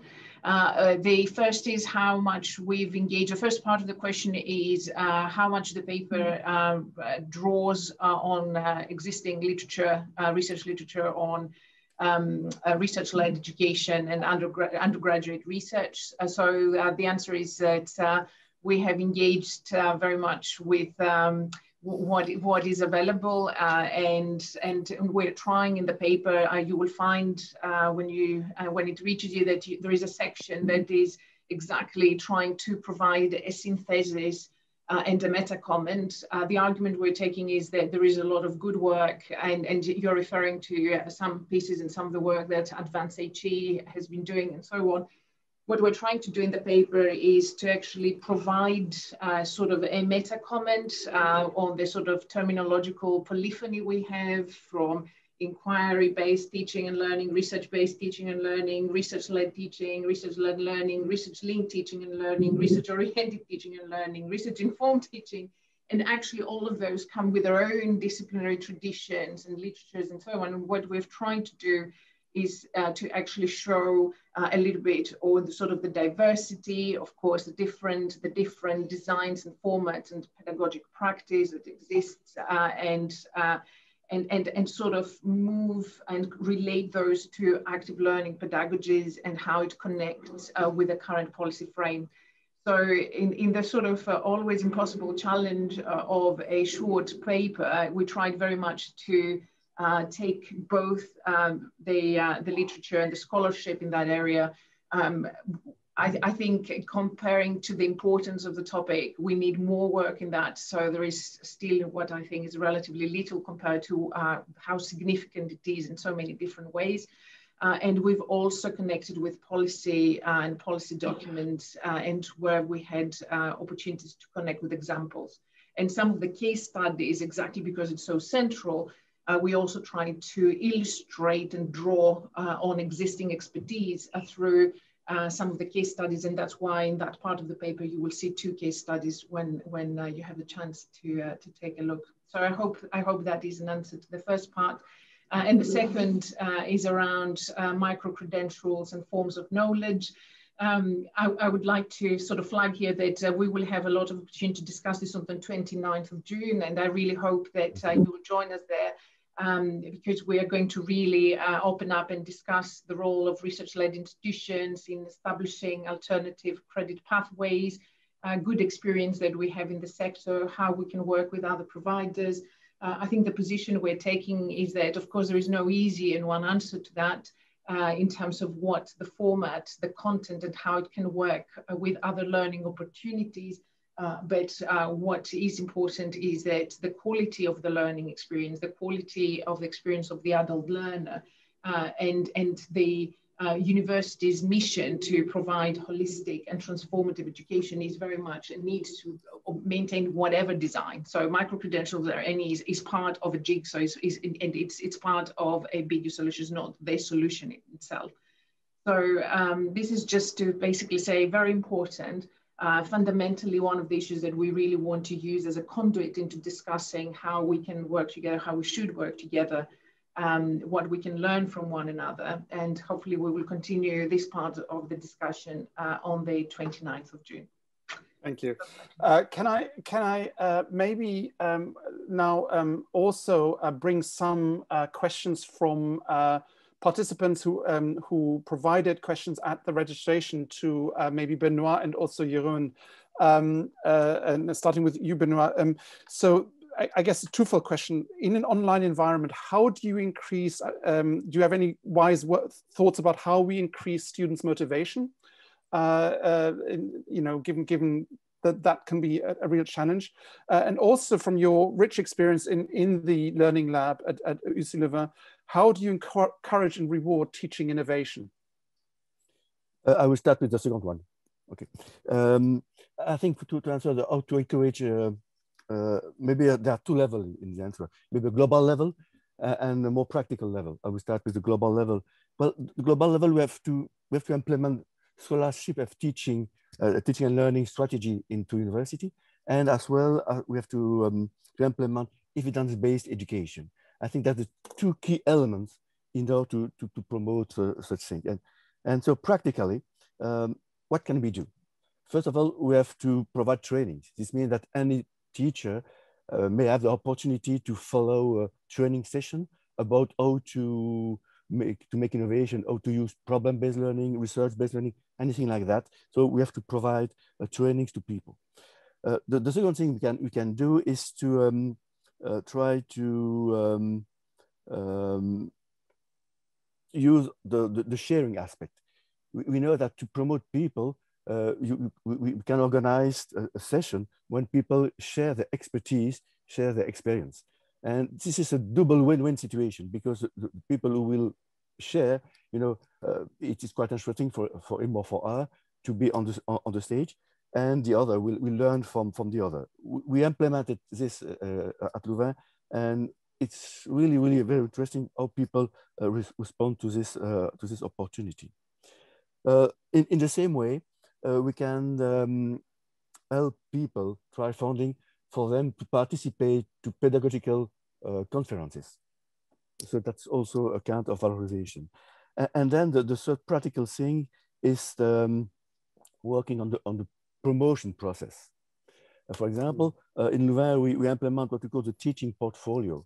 This means that if, if anyone wants to, to, to, get promote, to, get, to get promoted, he has to write down and to present his teaching portfolio to a commission. And at the same time, we work with the commission and we introduce the commission a, a, a list of criteria. We use a rubric grid, if, if, you, if you know such uh, practical uh, uh, tools, in order to evaluate um, application in pedagogy as well as application in research. And so it's important to have very clear criteria and to, to so that the, the, the, professor can be assessed on, on, on, both on research and on the pedagogical uh, innovation. Regarding your, your, uh, your first question, uh, in, fact, um, how to, to motivate uh, students, there are quite practical aspect, working in groups uh, and so on. But I think the, the key element is, is to work on the cycle contextualization, decontextualization, recontextualization. This means you start with a, a, clear question. In PBL, you start with a problem, but, but it can be a research problem. It can be anything. It can be a question, anything you want, but something will, that will trigger the, the, the, the mentality. So there are different kind of, of uh, good uh, uh, contextualization, but it's interesting to start with something that they will find an interest in. And then based on that, they have to recognize that it's not possible to, to solve this problem or this challenge without learning something. And this motivates them to learn. That's the decontextualization phase. This means that based on the problem, you are looking to learn something, you need to solve the problem. And at the end of the process, the recontextualization, really you, you come back to the first problem or to another one, and, and you, you propose, you, up, you applicate, you, you propose a solution to, to, uh, to classical problem. So the, the key element is to start with a question, a problem, a situation that have some interest in the um, student uh, aspect. You, you have three other aspects of, of, for, for engaging people. The second one is the, the, level of the problem you, you, you propose to them, it should at the right level. If it's too complex, they won't get engaged because it's too complex. If it's not complex enough, they will not go for it because it's too easy to solve. And uh, the, the, the last one is not the easiest one, is the fact that people have to choose what they want to what they want to do. So you give them at least one part of freedom. It can be selecting the, the starting point of the problem. It can be a way you will organize you, you, you, you can, it can, can be the, what you want to, to learn. Anything, they need to have to choose something in the process. Because as we do as, uh, as teacher, in, in research, we choose the research you want to, to work in, we choose your teams, we choose everything.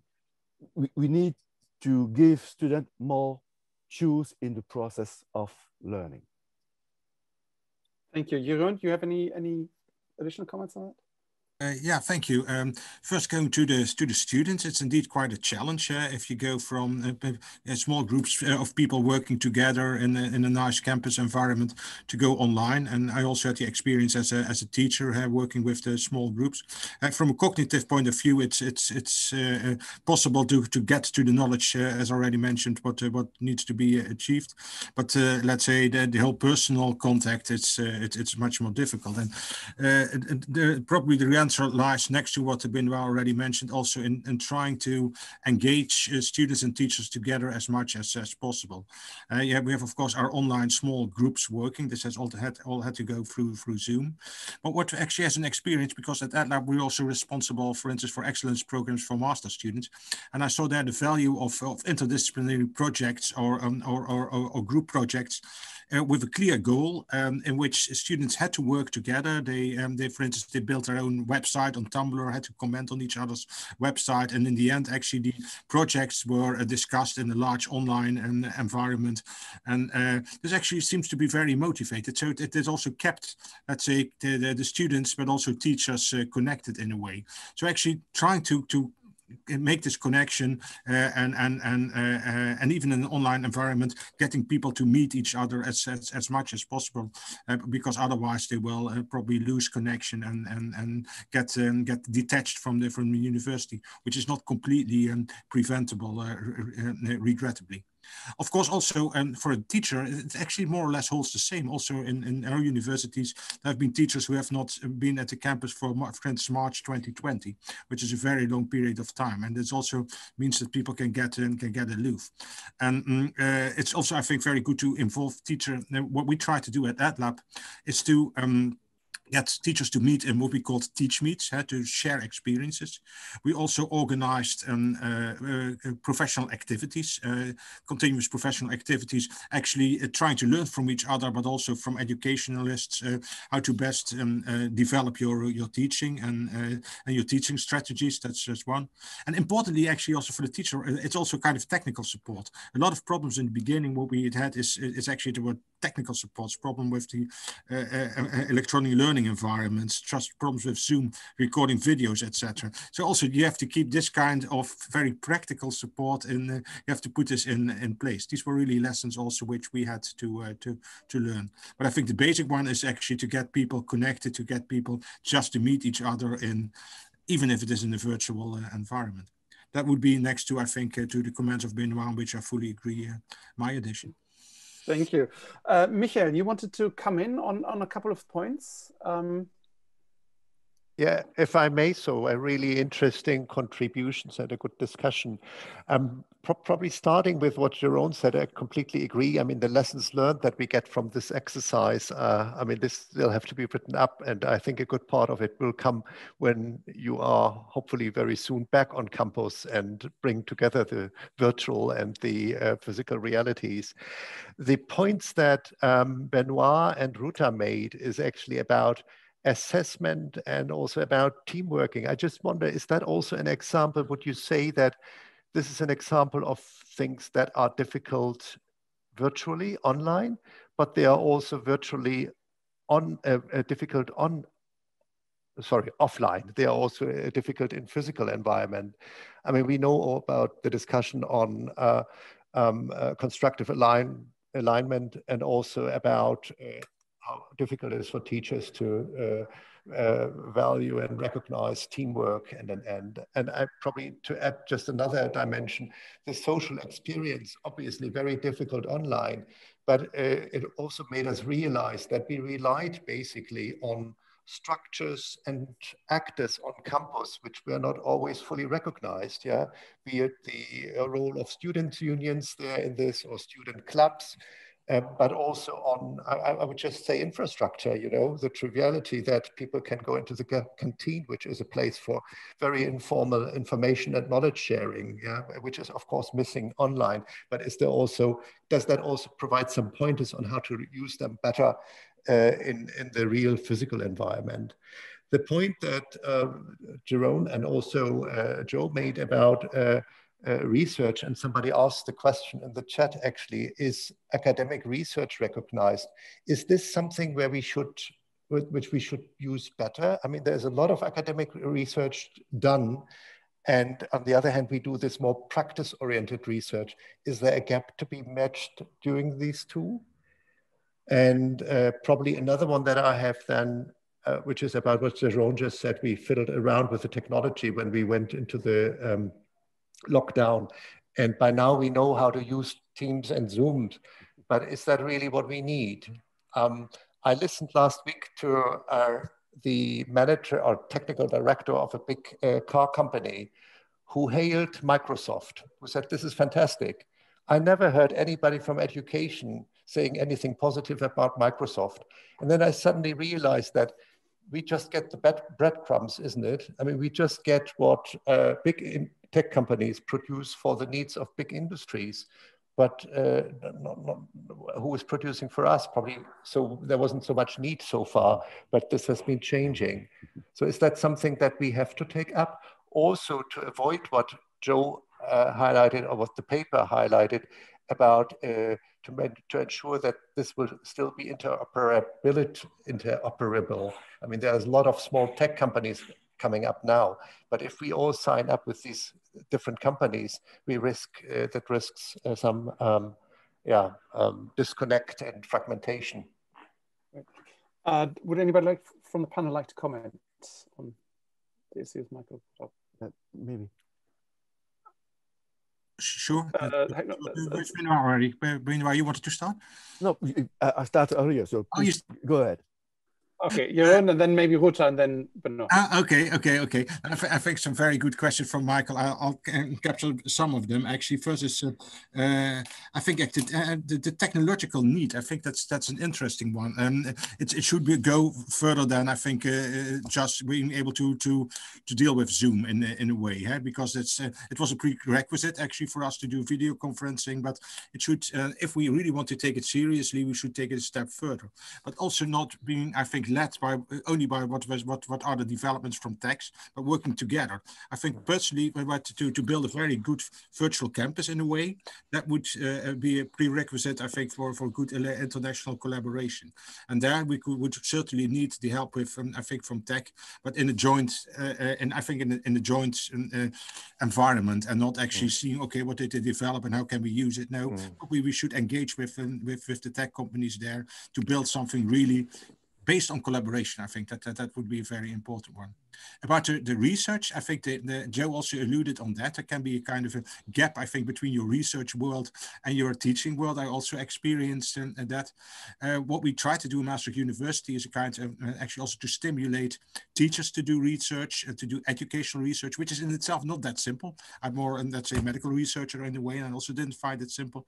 But it actually to to give teaching or teacher uh, and inspire research also the place it deserves, also as a part of, of recognition and reward from an academic career. I think that would be very important one. And I think lastly, I think the, uh, about the, uh, the assessment, I think the standard way of assessments, we had to do it partly by proctoring, which is not a very good or, or stimulating tool at all. So what we learned from that, and we already had um, um experience on that, for instance, in the field of medicine. We really want to move to programmatic assessment in which you get a more, I think, holistic view of what uh, different competencies of the, of the students. And we would probably not try to repeat in the end if, let's say, we would be in the same environment again, going back to proctoring, because this is not an, uh, I think, to personally not a way to go for the for the future and doesn't give real, yeah, the value to the assessment in, in, the, in the way what, what we like to achieve in problem-based learning. I think this far would be my comments. You ask probably more, but I would also like to give my colleagues a chance to reflect on that. Thank you. Maybe a few comments. Also, we spoke about internationalization actually of, of uh, study programs and, and courses. And I think digital learning and the internationalization in terms of now European university alliances one big advantage, in my opinion, is uh, building student networks because I really sure that the internationalization on research level, on the level of cooperation between researchers and teachers, it functions very well. But actually, we what we need much more is the cooperation between students, regional, not only on the European level, but also regional uh, cooperation, regional student networks. Uh, later, they may become also professional networks, but uh, we should start already in academia at the university building such networks. And I think European University Initiative is a very good instrument for that. And uh, so uh, also our responsibility, of course, especially in the field of humanities for our, our own, uh, own society. And there are so many important issues that we uh, have to discuss, like dealing with our cultural memory and so on, uh, or maybe appropriation of public uh, spaces, urban spaces. But uh, of course, for students, it's much more motivating if they do it uh, also in, in regional networks, in, in international networks. And uh, I think it's also, of course, when we speak about assessment, the teamwork, uh, challenge or problem or based project, they are always much more difficult to assess. But, uh, but I think we, we, we should do that and we should encourage uh, such that our students enter di different communities and generates, implements uh, ideas together with like-minded friends. and uh, uh, I think it's important that do they do that voluntarily so that they have this freedom of choice and uh, so also with professionals outside the, the, the, university. So I think it's really, uh, it's the best education for responsible citizens and this voluntary and the freedom of choice. Thank you. Thank you very much, Ruta. And Benoit, just uh, one, one minute, I'm afraid, because we're getting towards the end. Okay. Uh, technically, what we need is tool to um, implement de debate. Oh, that students can debate one together, whiteboard and so on. So that's what we need. About assessment, uh, some of my colleagues asked me, what can I do to avoid cheating? And so we organized what we call Google Proof session, just, just to, to have an exam, Google, Google Proof. And, but what is interesting in this process is that, in fact, Google Proof concentrate on competencies. And so it come back to, to, the, assess, to, the, to, to the constructive alignment. So maybe you can focus on uh, competencies than on, on knowledge. And uh, connection with the research, evidence-based education. This means to use the same principle as in, in, research. So first you start to, when you want to innovate, you see what is in the literature. Then you innovate, you measure what you have done, and you communicate, so you, you publish yourself on, on your experiment. One minute. Very good, wonderful, uh, um, Jo, do you have any any reflections on on the rich uh, arsenal of points that have been made? Uh, so so much, and it's it's um, uh, yes. I think uh, I will just sort of keep it like Benoit, uh, sort of trying to be very short. we clearly we face the same challenges. we've connected and used the good experience we had in the sector, and we we the, the the pandemic has actually also provided us uh, so much that we've learned. Um, in terms of the assessment that Benoit has touched upon, uh, there is so much good work uh, on sort of, again, uh, Michael was sort of uh, touched upon it. We've been discussing about this sort of constructive alignment and this sort of opportunity now to shift from the sort of cheating and catching to a much more constructive, much more revisiting uh, how in this sort of world that, uh, as Ruta was saying, we want students to dynamically apply their learning and we want active citizens. We want uh, students who will take ownership of their learning and will be able to actually create their path uh, and, and, and through that to benefit from mobilities, from connectedness, uh, from all the good that transnational collaboration can offer. Uh, but we know that this is easier said than done. And, and, and we had uh, a lot that we've learned over the past 14, 14 months. Um, there was a very good uh, discussion that also Susan asked a question about. Uh, we're talking about research-led teaching. Uh, very rarely do we talk about teaching-led research. And, and I, I, very much is something that I really goes back to um, issues that I have very, very close to my heart that we don't perpetuate bound binaries and boundaries between separating where we talk and how we talk about research and where we talk about teaching. We need to do it for the purposes that we're actually connecting, learning, improving. But fundamentally, I think what, what I'm, I'm, I'm hearing from, from what our discussions and, and all the work that we've been doing is that our collective goal is to create those dynamic learning communities where, uh, of course, research comes from co-creating teaching, from coming together, and teaching follows joint research, and the two are integrated, and, and also uh, in the life of a, of university, which is a very complex ecosystem. And my, Michael was saying earlier that it's not only about those sort of career paths, but all sorts of other opportunities to engaging with stakeholders outside the academy and so on. Um, so I think I'm just going to close because I ended up being more than one minute, of course. Uh, so um, we are in a transition, we hope we are in a transition period. Uh, and uh, we hope that uh, uh, one of the colleagues said that soon we will be back um, with our students, uh, back to our campuses and so on.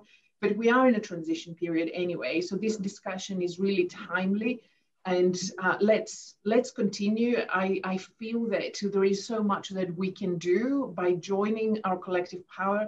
So I really hope that uh, we will be able to, to, to use what we're starting, to use the seminars, to use those opportunities uh, to really bring collective change. So thank you, Jan, back to you. So um, I just um, I just really want to then then uh, take this opportunity to just thank all the panelists, thank the thank the participants. Um, what we've uh, seen, I think, really in this panel is just simply how um, exciting teaching innovation is, and I think all the speakers have spoken with real passion and persuasion about the space. And, and, and I think that's the first really important uh, take-home message and that when we, when we convert that excitement into our classrooms and into our examinations, then of course it's also extremely important that that is evaluated in our careers and that this is valued um, in, in new ways. And I think that we, there is, there is an insistence that we need to bring uh, clearly to our institutions um, uh, about this point. Um, I think another really important point has been about the importance of evidence, evidence uh, that we need to take both in terms of from, from the research on, on pedagogy into the classroom, but also then back. Um, uh, and I think one of the things that's, that's really um, combined all these uh, contributions in my mind has been the insistence really on active uh, learning and how and, and, really encouraging the students um, in new ways to reflect on their learning. And that is a really interesting and important space to bring in, bring together so many of the things that we sometimes think of as binary, you know, the regional and the international, for instance, or the the uh, the digital and and and the uh, and the physical uh, aspects of learning. Um, I can't possibly do justice to all the many points that have been uh, raised here we um, I do think it's uh, it, it, there is something that really connects the second this, the second part of this discussion to the policy um, agenda, not just because a lot of these issues are of course discussed uh, right now in, at a European uh, and and also at a national uh, level.